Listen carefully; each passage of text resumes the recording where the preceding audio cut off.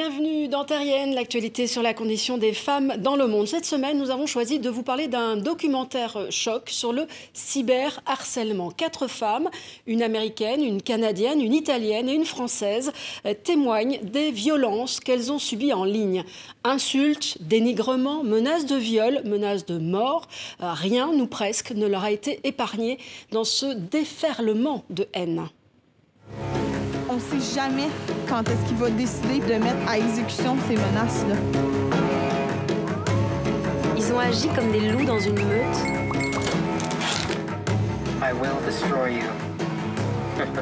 It's the misogyny. Go back to the kitchen. Stay home.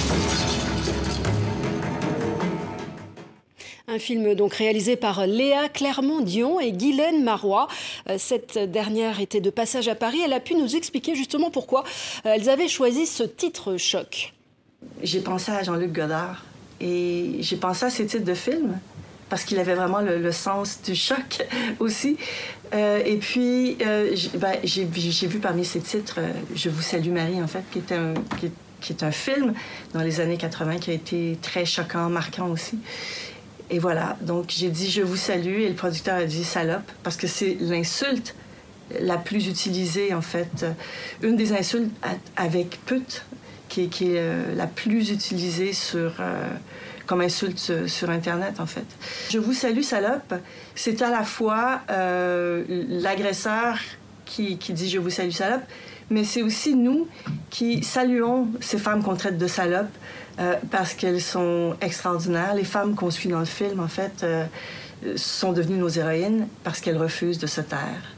Oui, ce documentaire cherche aussi à dénoncer la banalisation du cyberharcèlement, car pour certains, euh, ces violences en ligne restent virtuelles. Pourtant, leur impact et les dégâts causés chez les victimes sont bien réels.